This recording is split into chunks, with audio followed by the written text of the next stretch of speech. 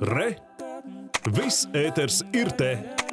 Bet no 1. aprīļa atcels lielāko daļu drošības pasākumu Covid-19 ierobežošanas noteikumos. Masku valkāšana obligāti paliks tikai sabiedriskajā transportā, ārstniecības un sociālās aprūpas iestādēs. Visi ierobežojumi tirzniecībā, ēdināšanā un citu pakalpojumu sniegšanā, kā arī publisko pasākumu rīkošanā tiks atcelti. Savukārt strādājošiem pagaidām prasība pēc certifikāta paliks spēkā trijās jomās - veselības aprūpē, izglītībā un ieslodzījuma vietās. Veselības ministrs Daniels Pavļus norāda, ka turpmāk katram pašam būs jāizvērtē, kā izvairīties no saslimšanas. Valsts sistēma faktiski šo rūpi no sevis pa lielai daļai ņem nost, regulējums vairs nav saistošs.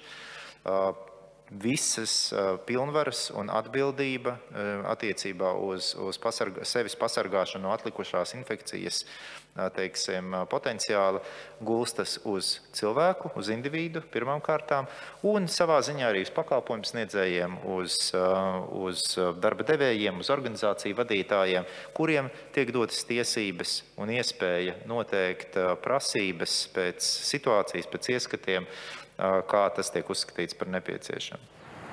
Epidemiologs Jurijs Perevoščikovs norādīja, ka it īpaši riska grupās esošiem cilvēkiem arī turpmāk būtu jābūt piesardzīgiem. Tas nozīmē izvairīšanos no liekas pulcēšanās, kā arī masku vai respiratoru lietošanu telpās, arī tad, ja tā vairs nav obligāta prasība.